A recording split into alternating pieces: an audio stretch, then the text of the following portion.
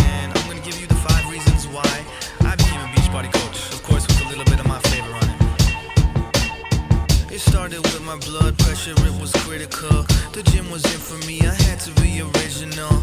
I'm pretty average looking, my wage was minimal. But look, I started it to get a better physical, to get a bigger chest, in case the world's a stress. I figure if I'm feeling good, then I'll be the best. Third reason was my brother, he told me It feels amazing. Helps me out with the daily things that I'm facing. I fell in love with Shakeology like so quick. Before Body Beast, I looked just like a toothpick. Fourth reason was that I love to network. All these friends always make you give your best effort and do what you love. Yo, that's reason five. I do beach Beachbody so I can keep my dreams alive.